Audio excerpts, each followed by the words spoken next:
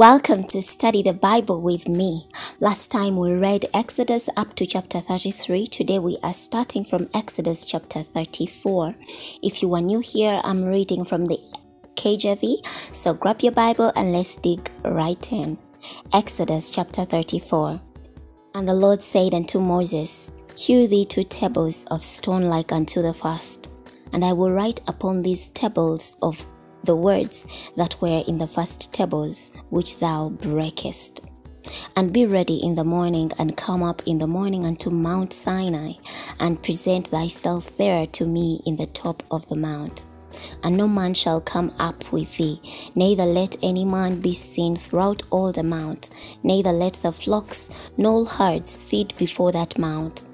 And he hewed two tables of stone like unto the first, and Moses rose up early in the morning and went up unto Mount Sinai as the Lord had commanded him, and took in his hands the two tables of stone. And the Lord descended in the cloud and stood with him there and proclaimed the name of the Lord. And the Lord passed by before him and proclaimed, The Lord, the Lord God, merciful and gracious, long suffering, and abundant in goodness and truth keeping mercy for thousands, forgiving iniquity and transgression and sin, and that will by no means clear the guilt, visiting the iniquity of the fathers upon the children, and upon the children's children, unto the third and to the fourth generation. And Moses made haste and bowed his head toward the earth and worshipped. And he said, If now I have found grace in thy sight, O Lord, let my Lord, I pray thee, go among us, for it is a stiff necked people, and pardon our iniquity and our sin, and take us for thine inheritance. And he said, Behold, I make a covenant. Before all thy people I will do marvels, such as have not been done in all the earth, nor in any nation, and all the people among which thou art shall see the work of the Lord for it is a terrible thing that I will do with thee. Observe thou that which I command thee this day.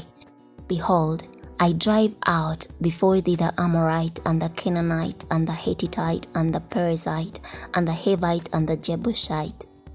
Take heed to thyself, lest thou make a covenant with the inhabitants of the land whither thou goest, lest it be for a snare in the midst of thee.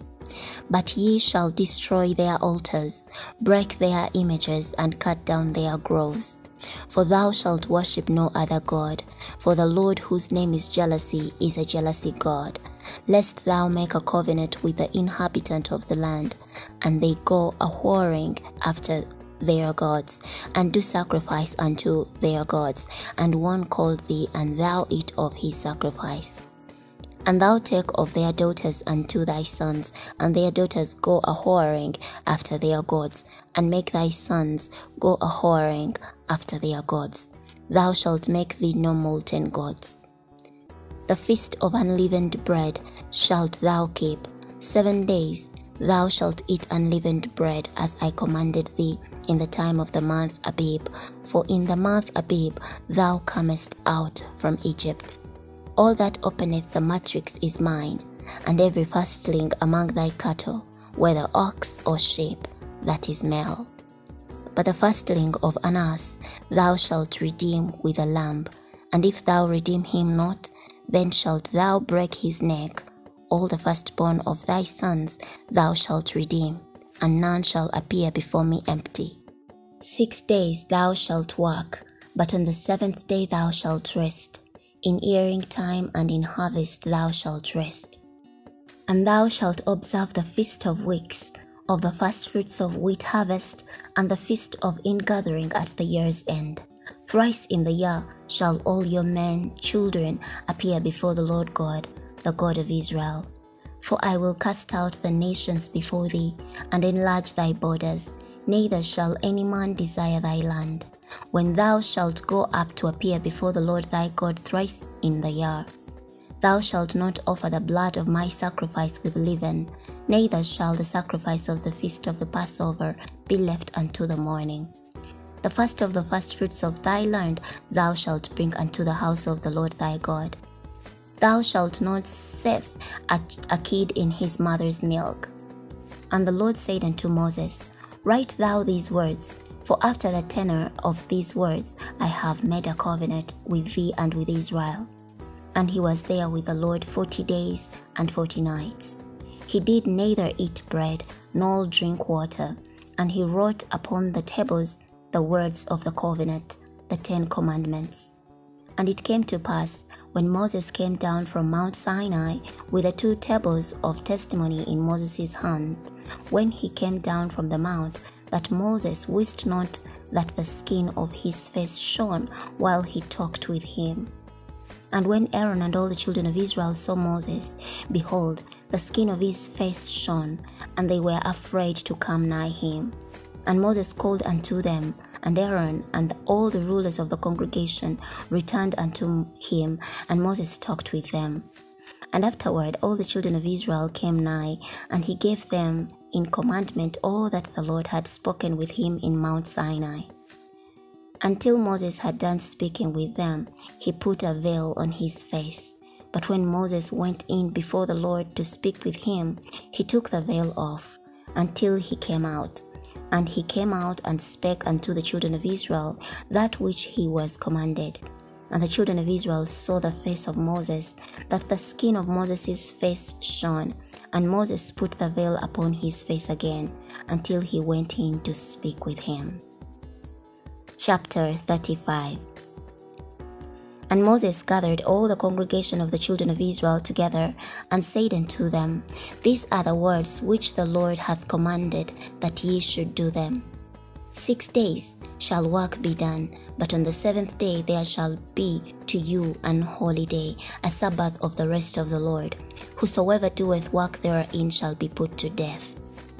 Ye shall kindle no fire throughout your habitations upon the Sabbath day. And Moses spake unto all the congregation of the children of Israel, saying, This is the thing which the Lord commanded, saying, Take ye from among you an offering unto the Lord. Whosoever is of a willing heart, let him bring it, an offering of the Lord, gold and silver and brass, and blue and purple and scarlet and fine linen and goat's hair, and ram's skins dyed red, and badger's skins and shittim wood and oil for the light and spices for anointing oil, and for the sweet incense.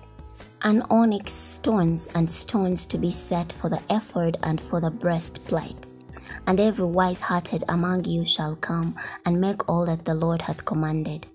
The tabernacle, his tent, and his covering, his taches, and his boards, his bars, his pillars, and his sockets, the ark and the staves thereof, with the mercy seat and the veil of the covering, the table and his staves, and all his vessels, and the shewbread, the candlestick also for the light, and his furniture and his lamps, with the oil for the light, and the incense altar and his staves, and the anointing oil, and the sweet incense, and the hanging for the door at the entering in the tabernacle. The altar of burnt offering with his brazen grate, his staves and all his vessels, the laver and his foot, the hangings of the court, his pillars and their sockets, the hanging for the door of the court, the pins of the tabernacle and the pins of the court and their cords, the cloth of service to do service in the holy place, the holy garment for Aaron and the priest, and the garments of his sons to minister in the priest's office. And all the congregation of the children of Israel departed from the presence of Moses. And they came, every one whose heart stirred him up, and every one whom his spirit made willing, and they brought the Lord's offering to the work of the tabernacle of the congregation, and for all his service, and for the holy garments. And they came both men and women, as many as were willing hearted, and brought bracelets and earrings and rings and tablets, all jewels of gold, and every man that offered, offered an offering of gold unto the Lord. And every man with whom was found blue, and purple, and scarlet, and fine linen, and goat's hair, and red skins of rams, and badgers' skins brought them Everyone that did offer an offering of silver and brass brought the Lord's offering, and every man with whom was found shittim wood for any work for the service brought it. And all the women that were wise hearted did spin with their hands and brought that which they had spun, both of blue and of purple and of scarlet and of fine linen. And all the women whose heart stirred them up in wisdom spun goat's hair. And the rulers brought onyx stones and stones to be set for the ephod and for the breastplate, and spice and oil for the light, and for the anointing oil, and for the sweet incense. The children of Israel brought a willing offering unto the Lord, every man and woman whose heart made them willing to bring for all manner of work, which the Lord had commanded to be made by the hand of Moses. And Moses said unto the children of Israel, See, the Lord hath called by name Bezalel, the son of Uri, the son of Hur of the tribe of Judah. And he hath filled him with the Spirit of God in wisdom, in understanding, and in knowledge, and in all manner of workmanship, and to devise curious works, to work in gold and in silver and in brass, and in the cutting of stones, to set them, and in carving of wood, to make any manner of cunning work. And he hath put in his heart that he may teach both he and Aholiab, the son of Ahisamach of the tribe of Dan. Them hath he filled with wisdom of heart, to work all manner of work of the engraver, and of the cunning workman, and of the embroiderer, in blue and in purple, in scarlet and in fine linen, and of the weaver, even of them that do any work, and of those that devise cunning work. Alright, guys, it's been a great reading today. We are looking at the specifications and the work of the tabernacle of God. Well, I'll be ending here today.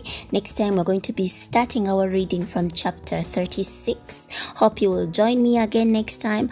So let's do this together. Let's read together. If you're on this journey with me, please um, leave a comment and let me know that I'm and, and write a comment saying I'm on this journey with you. I'll be so glad to know that I have some people that I'm moving with on this journey. It's a reading. It's it's literally it doesn't have any dramatic expressions to it. Well, I'm expecting the other person on the other side is probably also holding their Bible or putting the putting this uh, reading in their ears more like a podcast but it's not a podcast to listen to and get to read the word along with me. Yes uh hopefully you are enjoying it because i'm really enjoying this reading. I'll catch you again next time. Bye